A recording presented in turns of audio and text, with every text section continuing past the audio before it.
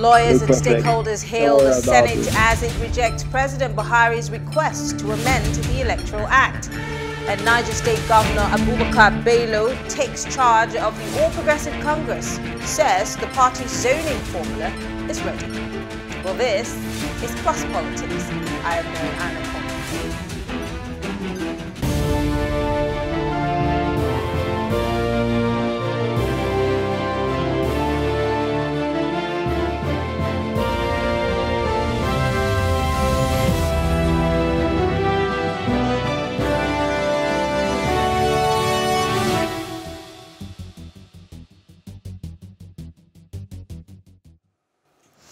The request by President Muhammadu Buhari to further amend the Electoral Act of 2022 by deleting Section 84, subsection 12, has been rejected by the Senate. The bill failed to scale through second reading on the floor during plenary, despite Senate President Ahmed Lawan saying that the amendment must happen regardless of a court order barring it from doing so. Now, the section requires political appointees to resign their appointments before participating in the primary elections as either delegates or candidates. President Buhari had said the section is in conflict with the extant constitutional provisions. Well, joining us to break this down is Jide Ologun and Aboje Ataguba. They are both legal practitioners. Thank you so much, gentlemen, for joining us.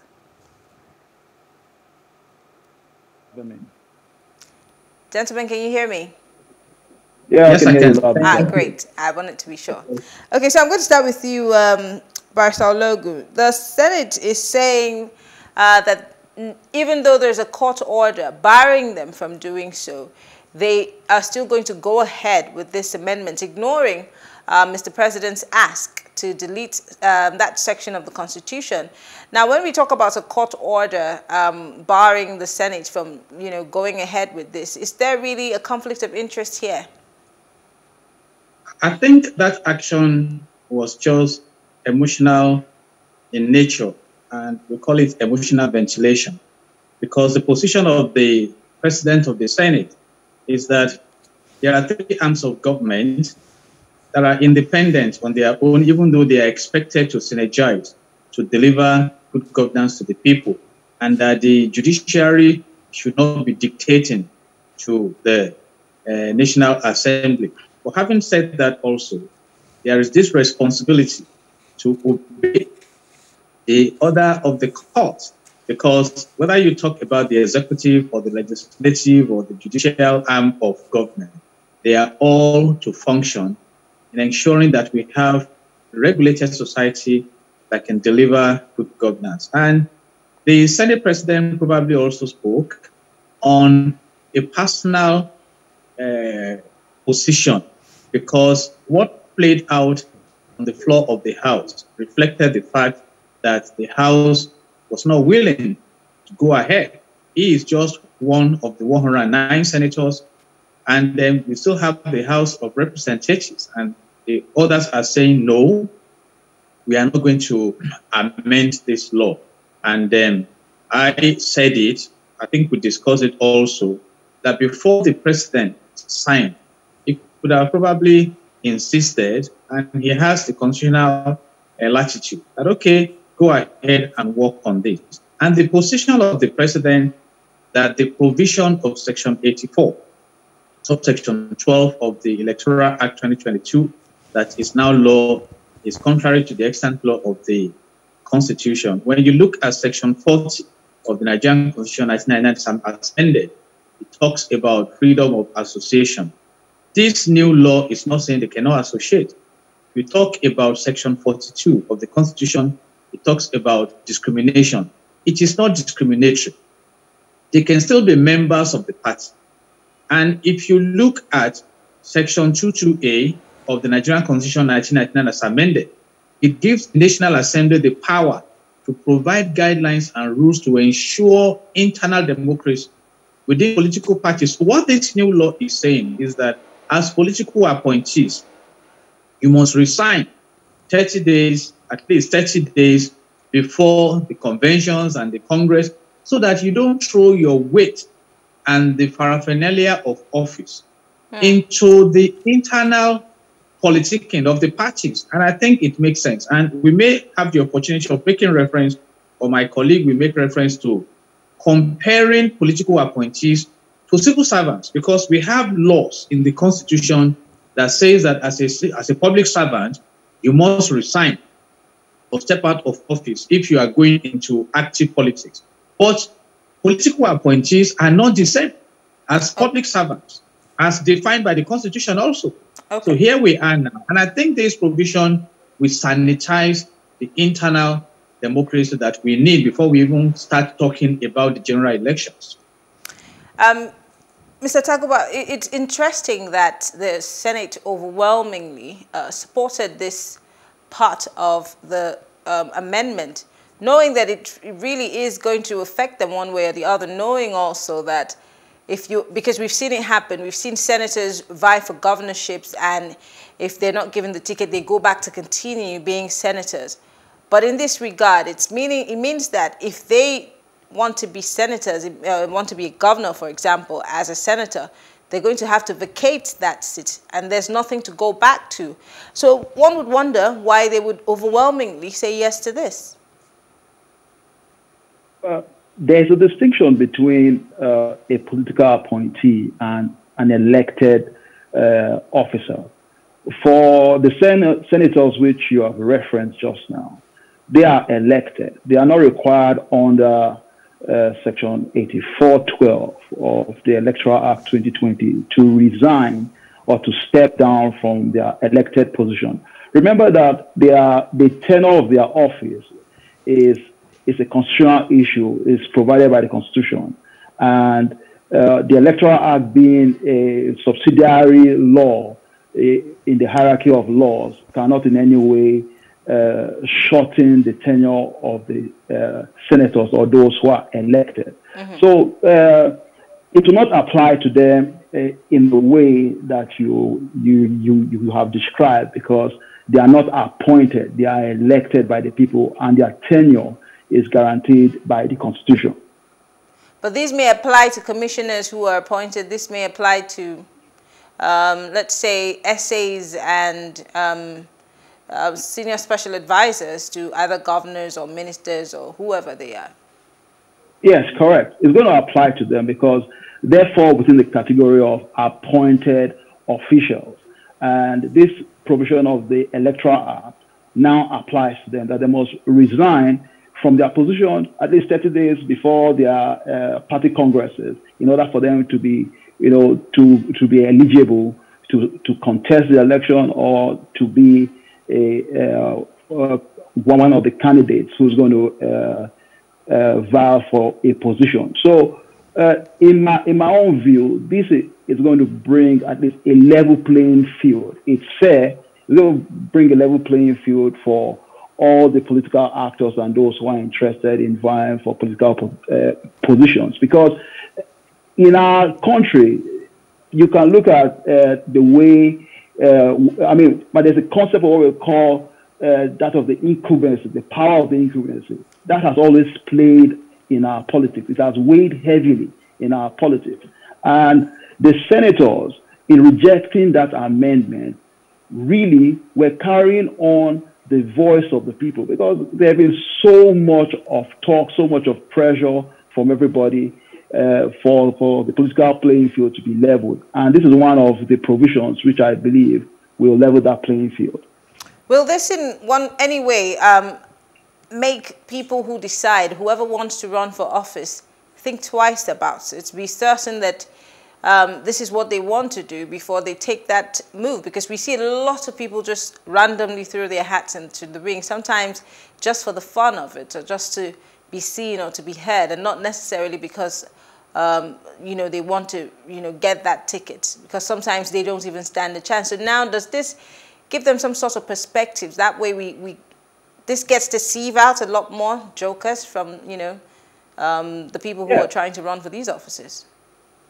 Yes, this will indeed seal out, I mean, those who ordinarily are reliant on, on the public, uh, public purse and who are reliant on, you know, the, the weight of their office to push themselves through elections. This is going to really affect them because once you are no longer in that position, you can no longer guarantee what is going to happen.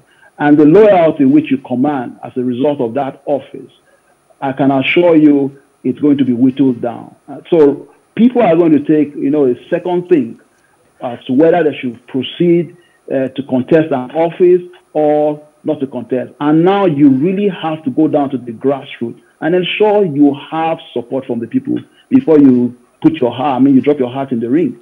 Hmm. Let's let's go further into um, some of the issue of the electoral amendments. I'm coming back to you, Mr. Logan. Um, so, uh, so the former uh, former Senate president has, had been quoted to say that um, that we're not necessarily ripe um, for you know amendments, further amendments of the Electoral Act. Uh, he's insisting, in fact, that time is not ripe for further amendment of the Electoral Act. And I ask you, Mr. Logun, when would we be ripe enough as a country to further amend our constitution? I have spoken to many people who have said, I mean, I think early last week I spoke with um, um, and he said something about, you know, jettisoning that constitution and writing a brand new one. And here is a former Senate president saying, well, we're not ripe enough to carry out further amendments on our constitution. I think it's all about how we get things done in Nigeria. Look at this electoral act that just got amended.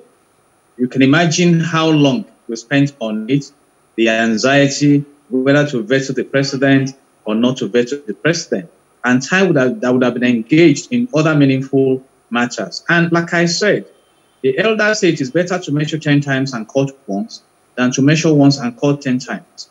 The president has been advised on the provisions in the amendment. So he could have gone ahead. It's okay, I'm going to assent to this. Please, I'm returning it to you. In three days, find a way of amending this. But let's bring a background to all this. You will recall that the National Assembly, in their wisdom, recommended that primary election should be through direct primaries to prompt candidates for election. And some governors went lobbying, went as far as lobbying the president himself, the attorney general of the federation, to say no, that we are not going to allow uh, direct primaries as the only way of prompting candidates. And it was thrown back that amen. And this time around, National Assembly amended it to include indirect and even consensus candidates, and now brought this new clause. And let me tell you where the mind of the National Assembly may be flowing. Some governors, for instance, may have political appointees for the purpose of sending them ahead during congresses and conventions as their delegates. And that's why you may be asking, why should a governor have 170 senior special assistants and junior assistants. These are the angles that the National Assembly is looking from it. And like my colleague brilliantly mentioned, in Nigeria, you are highly influential when you are in office. But when you step out of office, you may be scampering around for those who even follow you. Look at what happened in Osun State recently, where Aregbesola, a sitting uh, minister at the federal level, went to that state to want, and wanted to scuttle the primaries there. So you can imagine that they all now. So if you know that for you to even be active at the primaries, you need to resign. Then you choose between having your cake, eating it, or keeping it in the freezer. Or you cannot hold to this public office as an appointee, not as a public officer. And you now want to go and be tampering with election. It's not saying you cannot be a member of that party you are still a member.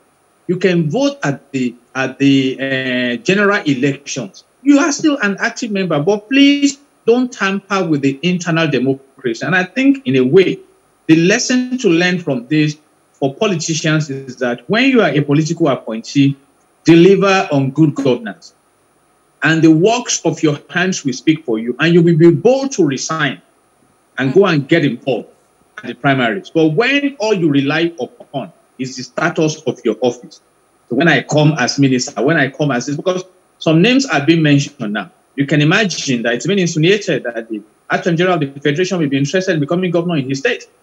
You know, and, and Amaechi and the likes of them. So when they use, and you know, when they move around, they have all the siren, all the money of the government. No, no, no, it should not be. We need to start sanitizing.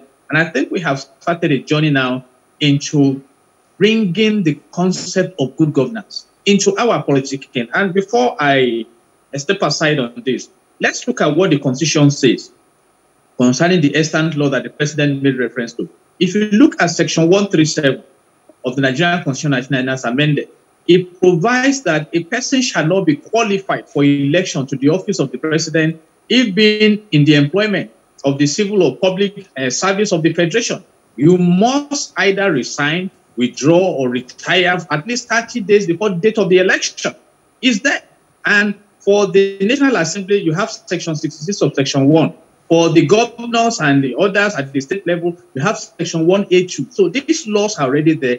The distinction now is okay, if we have this law for civil servants or public officers, what about political appointees? I just asked now. Hmm. You see some governors having 170 and senior advisors, special senior advisors at the expense of the state. So when you know now that it has to be with your performance, you create a level playing field, like my colleague wonderfully mentioned. And I believe that we are beginning to sanitize the electoral processes that we have in the country. So I do not see any contradiction in all this. And for once also, the National Assembly is now perceived by Nigerians as not being rubber stamped. Okay. But I have told you there has been underground battles between the governors, political appointees, and the National Assembly. And whether we like it or not, by Section 4 of the Nigerian Constitution 1999 as amended, it is the National Assembly that is empowered by law to make laws for the peace, order, and good governance of the country. Okay. The, the, you know, and here we are now. So it's uh, it's, it's for me. Uh, if they want to amend again, let them wait, and it goes through the process of amendment. We have about seven okay. to eleven processes.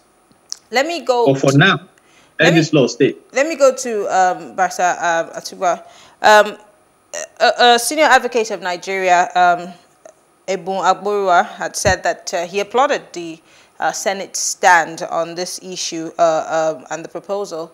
Uh, he said it was commendable, but then he advised that the upper chamber step down consideration of the bill uh, pending the vacation of the court order delivered by Justice Ekwo on Monday.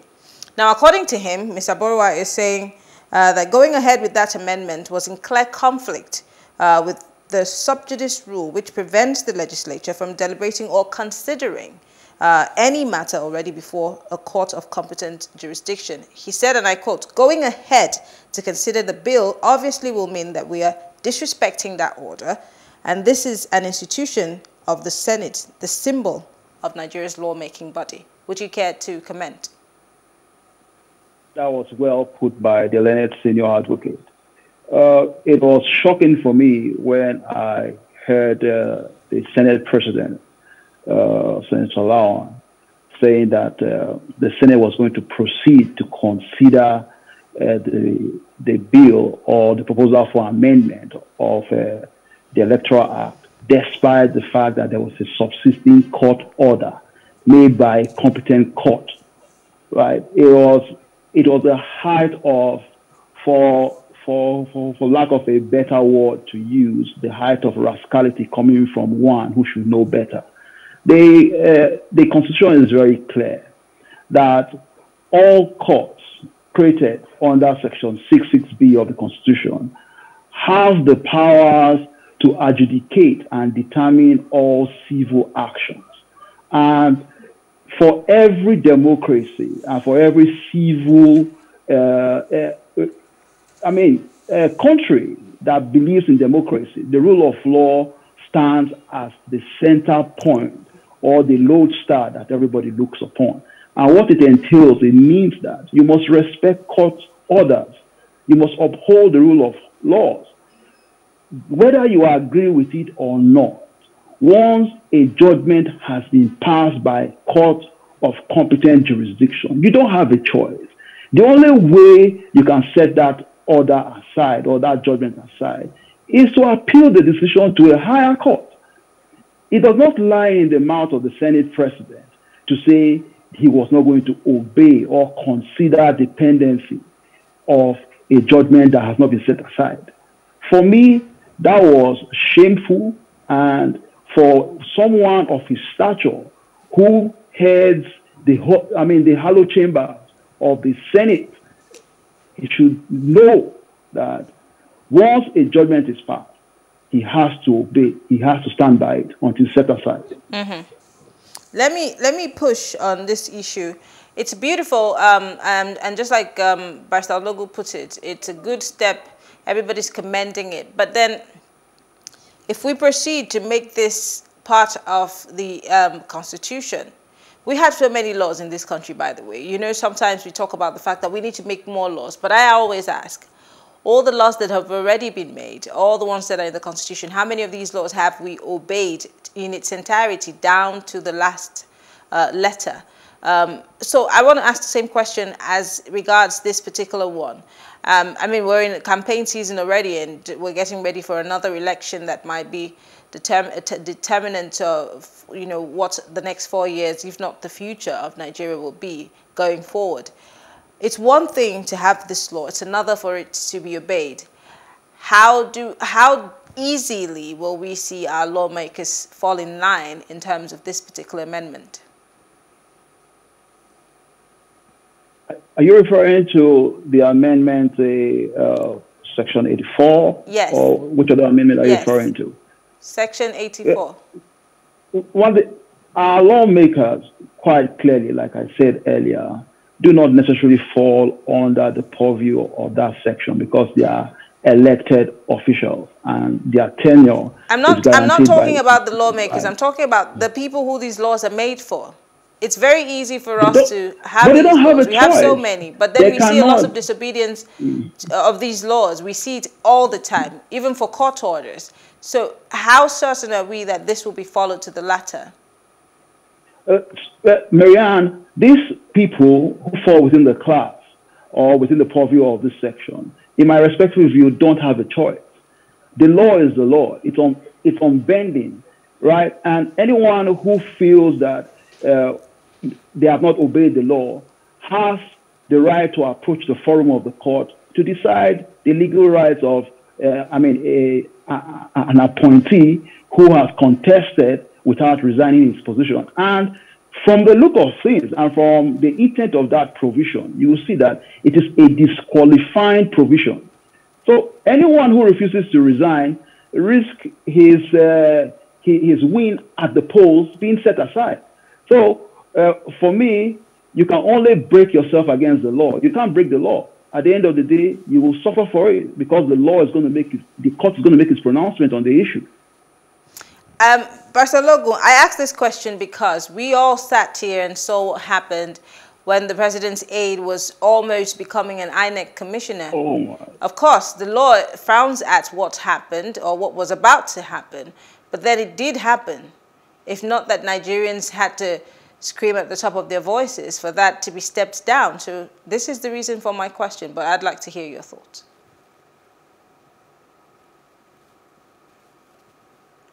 Barcelogo, can you hear me? Yes, I can. Go ahead. Can you hear me? Yes. Aha. That is also what is inspiring the National Assembly. We have had enough disrespect of the rule of law in Nigeria, and the crisis being created is affecting everybody. So, and that is why I appreciate the confrontation in respect of this argument. Go and amend, we are not going to amend. We have three arms of government. We have checks and balances. It is the responsibility of the executive arm to implement the law. So if there is any political appointee that goes ahead and begins to tamper with the processes at the primary level, it should be called to order. Remove section 15, subsection 5 of the Nigerian Constitution 1999 as amended stipulates that. that the state shall abolish corrupt uh, practices Dr. Logo, are you still here? No, so and what, what is happening now is that if you trust yourself so much as being influential, then resign 30 days before the appropriate time, then go and get involved.